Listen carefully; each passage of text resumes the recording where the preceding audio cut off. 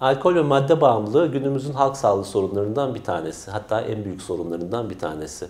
Ve e, birçok insan için alkole ulaşmak oldukça kolay. Ve e, acaba hangi durumda bağımlılık gelişiyor? Bu önemli. Çünkü insanlar e, sosyal hayatın içinde her zaman e, alkol almak isteyenler olabiliyor. Ya da günlük hayatın bir parçası olarak alkol e, yaşamın e, içinde seyredebiliyor yemeklerde ya da eğlencelerde.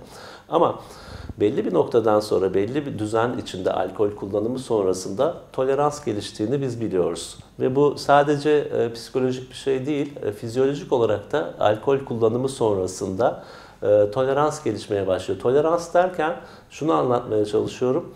Bir insan bazen bir birim içki içtiğinde e, çakır keyif olurken bir süre sonra 10 birim içtiğinde ancak çakır keyif olmaya başlıyor ya da o alkolün etkisini almaya başlıyor.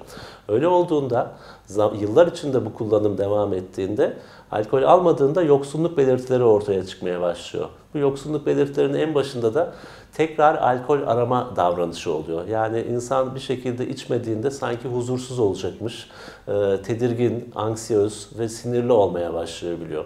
Bu noktadan sonra aslında bağımlılık gelişmeye başlıyor. Biz bağımlılık derken e, madde kullanımında ve alkol kullanımında aslında kişinin sosyal işlevselliği aksamaya başlamışsa ve e, bu maddeyi ya da alkolü almadan günlük işlerini düzgün yapamaz hale gelmeye başlamışsa burada ciddi tedavi gerektiren bir durum olduğu ortaya çıkıyor tabii ki.